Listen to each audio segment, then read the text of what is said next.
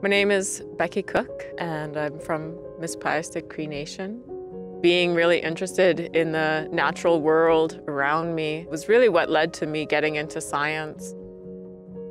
I studied geology and geophysics.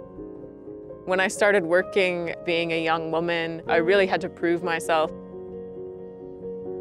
I went through a pretty varied career path. I worked for an oil company in Calgary. Then I went to study in England. I went on a couple of research cruises. I went on an international ocean drilling program. I got to meet a lot of great scientists.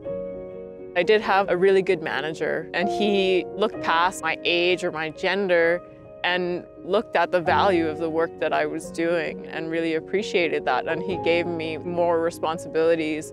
Right now, I'm working on building the Minoaski Culture Camp to merge together the Western knowledge and traditional knowledge to give the youth a more relevant education.